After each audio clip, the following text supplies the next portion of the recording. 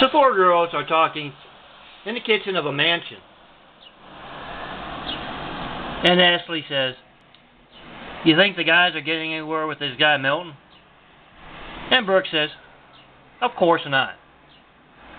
The guys are completely incompetent. They don't know what they're doing.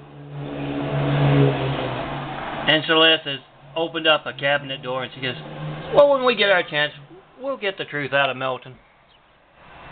We'll, uh, get a good home cooked meal in him and he'll talk. Then Kayla looks over at uh, Celeste, rolls her eyes, and says, Celeste, grow up.